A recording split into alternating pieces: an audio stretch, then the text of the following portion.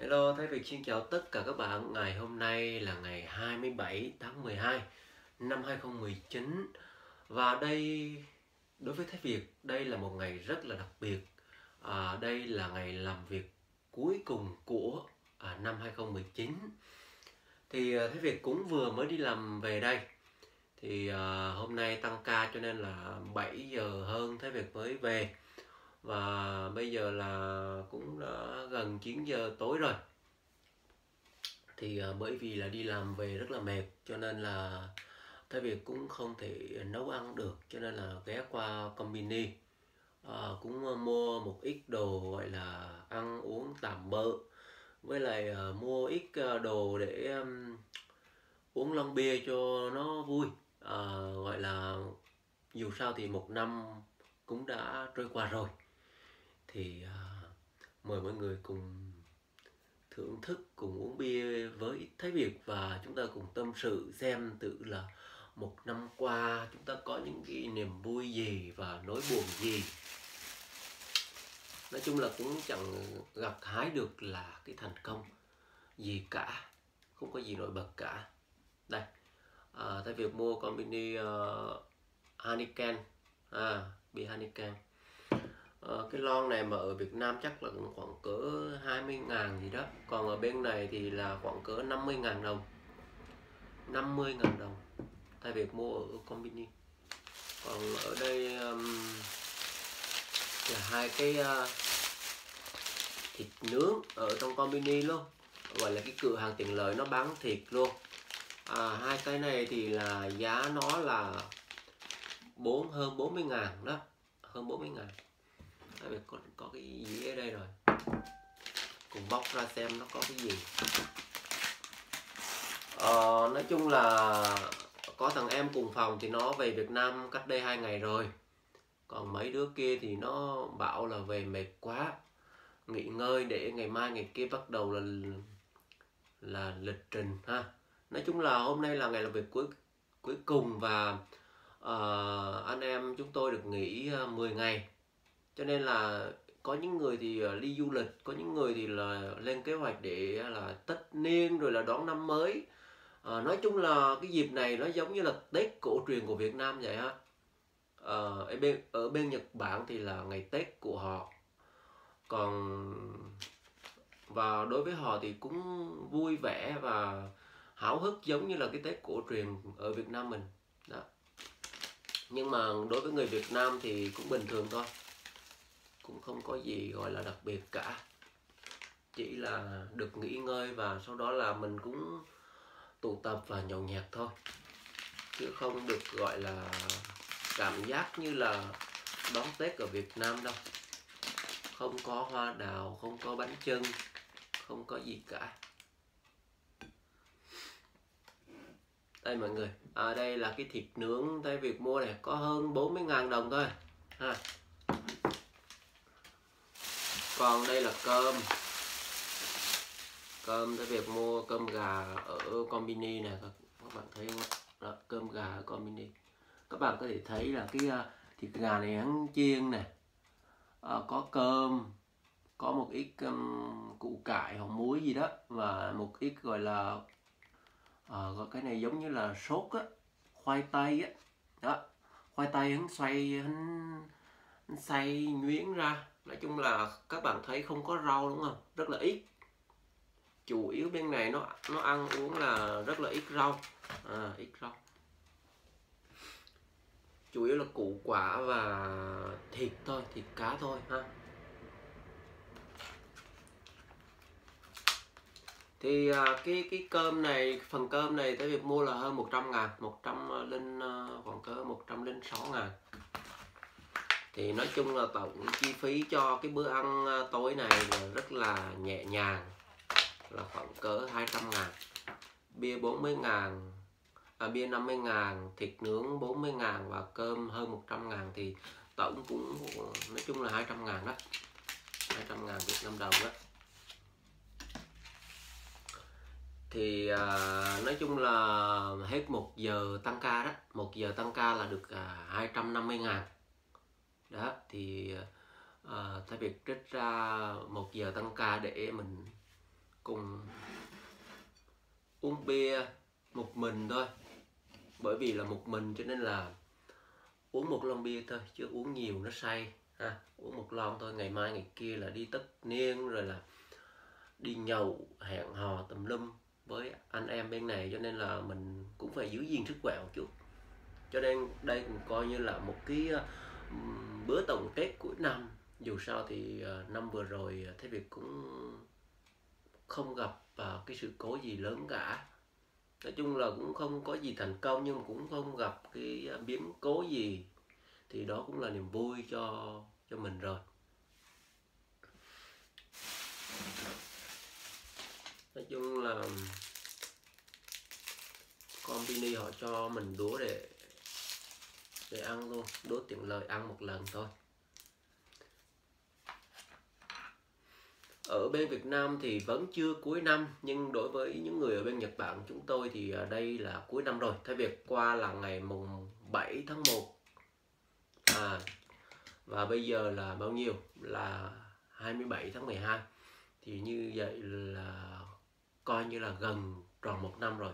Còn có khoảng hơn một tuần nữa là tròn một năm bước sang đất nước Nhật Bản để làm việc. Đó.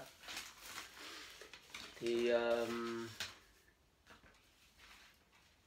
bây giờ mời mọi người cùng thưởng thức bia với Thế Việt nha.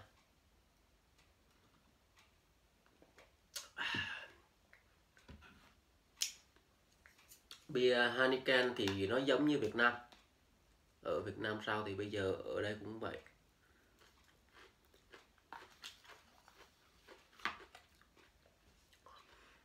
Để ờ, thử miếng thịt nướng này xem.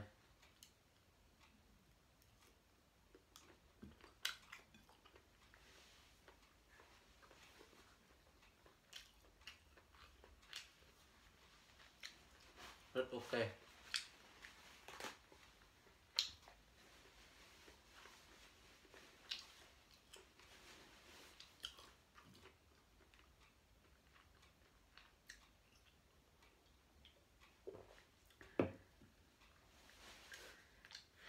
Nói chung là một năm vừa qua thì thấy việc ờ, đã trả hết nợ rồi. Đó là một cái điều rất là vui. Đó. Đó là điều mà thấy việc cảm thấy vui vui nhất luôn. Bởi vì ờ, thấy việc hồi trước đi thì là hết là rất là nhiều chi phí trả cho môi giới là 150 triệu và chi phí bên lề. Những chi phí như là nhậu nhạt rồi mua đồ áo chuẩn bị rồi đem tiền sang đây tiêu nữa. Cho nên là cũng gần 200 triệu và tới việc đã trả hết nợ và hiện tại thì đã dư, đã có dư. Và dư nói chung khoảng hơn 100 triệu gì đó. Đó, cái việc à, một năm vừa qua thì chỉ kiếm được từng đó tiền thôi. Và nói về uh, học hỏi kinh nghiệm thì thấy việc thấy là qua đây cũng chẳng học được cái gì cả. Uh, gọi là tất cả mọi thứ nó rất là đơn giản và chỉ cần học trong vòng 2 đến 3 ngày là đủ để làm việc rồi cho nên là một năm vừa qua thấy việc không học được cái gì cả. Không học thêm được một bất cứ một cái gì luôn. Đó. Uhm,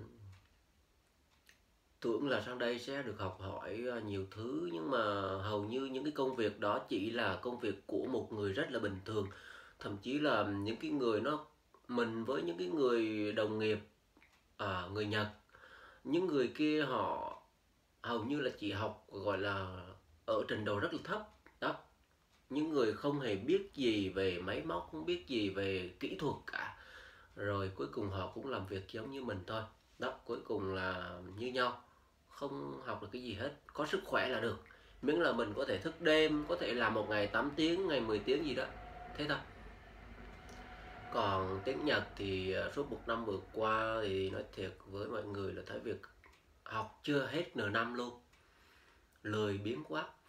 À, bởi vì là đi làm về mệt mỏi và hơn nữa là nhiều khi á, ờ, mình chỉ cần biết một số cái cơ bản là được. Cho nên là thấy việc cũng ỷ lại không học. Và ở ờ, mặc dù bây giờ 6 7 anh em người Việt trong công ty nhưng mà chỉ có một người giỏi thôi.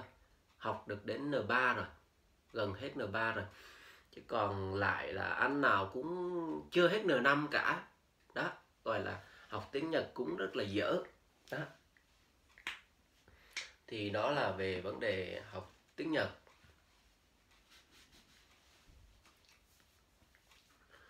Còn lại thì à, về sức khỏe thì thấy việc thấy là cũng tạm thời thích nghi được là đồ ăn rồi là chịu được cái sự khắc nghiệt của thời tiết.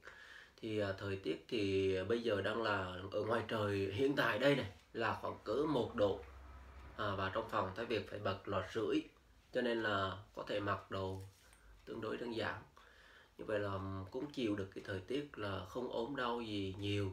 Hiện tại là chưa trải qua một trận ốm nặng nào cả thì đó là một cái điều rất là vui. Đã à, nói chung là suy nghĩ suy đi tính lại thì à, một năm vừa qua cũng chỉ có từng đó thôi.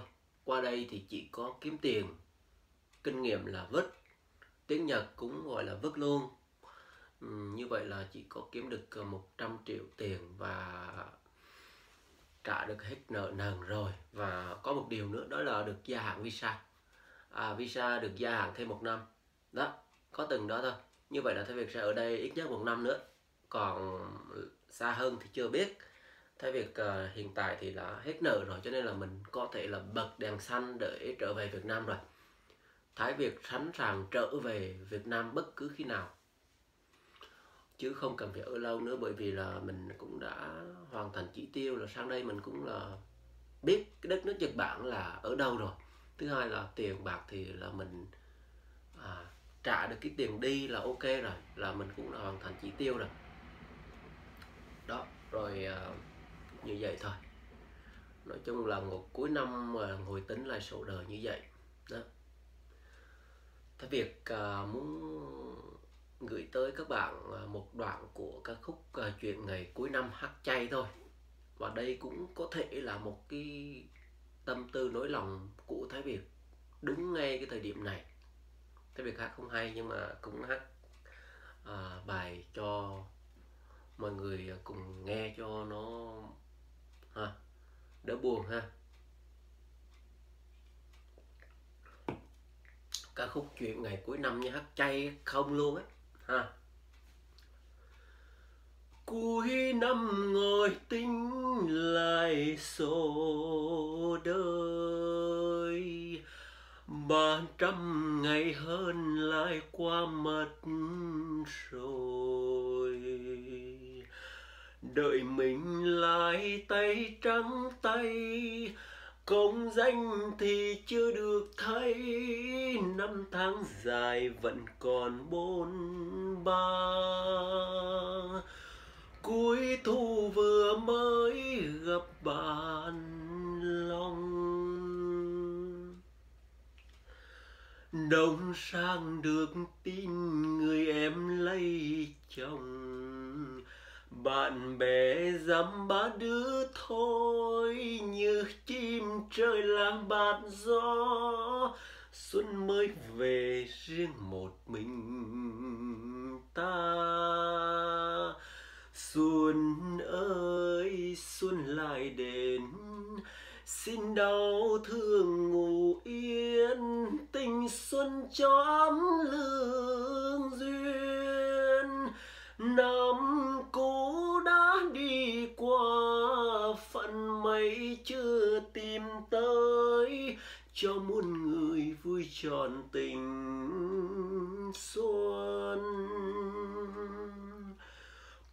năm ngồi tính lại số đời. Công danh nợ duyên một năm lỡ rồi. Phận người như mấy nước trôi, xuân ơi, mùa xuân này tới. Trên gác nghèo mơ mộng nở hoa nói chung là đây là cái câu à, cái bài hát à, chuyện ngày cuối năm và những cái lời nói của Thái Việt đây cũng là những cái lời nói của à, của cái năm này. Gọi là những cái lời nói à, cũng gần cuối năm rồi. Thì Thái Việt cũng trải lòng à, về những cái kết quả Thái Việt đạt được trong một năm vừa qua. Nói chung là không có gì gọi là thành công và cũng gọi là trắng tay à, người ta đi Nhật người ta kiếm tiền tỷ này kia còn đối với cái Việt thì chưa có gì cả. Vẫn là trắng tay. Cũng chưa gặt hái được cái gì như là mình mong muốn cả.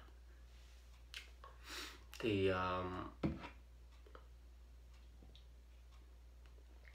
năm đầu tiên thì uh, hy vọng là bao giờ cũng là khó khăn rồi. Thì cũng hy vọng là sang năm uh, là cái năm thứ hai ở đất nước Nhật Bản thì là Thái Việt sẽ có nhiều may mắn hơn à, công việc thuận lợi hơn sẽ có nhiều thời gian để có thể là học tập nghiên cứu những cái vấn đề riêng của mình.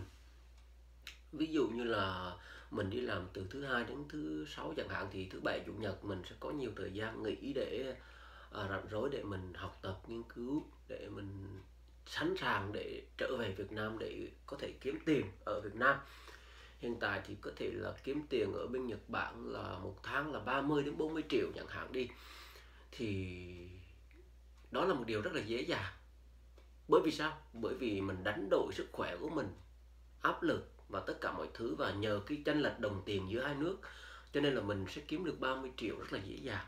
Cho nên nhưng mà à, về Việt Nam thì để kiếm được 30 triệu hay 40 triệu đó mới là điều rất là khó khăn ở Nhật Bản thì kiếm 3 đến 40 triệu một tháng thì bạn chỉ là một người rất là bình thường mà quá nói bình thường. Nhưng mà ở Việt Nam nếu bạn chỉ cần kiếm mà tháng 20 triệu thôi thì bạn là một người rất là giỏi rồi. Đó, cho nên Thái Việt muốn rằng là mình về Việt Nam mà mình có thể kiếm được là 30 triệu 40 triệu thì mình mới được công nhận là một người rất là giỏi. Đó. gọi là có học thức, có bộ não giỏi chứ còn ở bên này thì tháng 30 triệu thậm chí 50 triệu gửi về Việt Nam rồi thì đó thì bạn chẳng qua là đánh đổi sức khỏe của mình thôi. Bạn không hề giỏi. Bạn chỉ là một người tầm thường và thấp nhất của à, các cái tầng lớp bên Nhật Bản này mà thôi. Chỉ là đánh đổi sức khỏe của mình để um, bươn chải với cuộc đời này. Giữa nắng giữa gió giữa những thời tiết nóng lạnh rồi cày ngày cày đêm ngày mấy tiếng đó à, và đánh đổi sức khỏe của mình thậm chí là tuổi thọ của mình. À, những cái chất độc hại này kia ở uh, Fukushima, Hiroshima những cái vùng đất rất là nguy hiểm. Đó. Và đối diện với nhiều rủi ro về tai nạn lao động, an toàn lao động. Để à, đổi lấy đồng tiền gửi về Việt Nam thì uh, thế việc cũng uh, nhân dịp cuối năm rồi chuẩn bị là có vài ba ngày nữa là sang cái năm mới. Dương lịch chứ không phải là âm lịch nha mọi người. Năm mới ở Nhật Bản thì Thái Việt chúc cho mọi người đang xem clip này.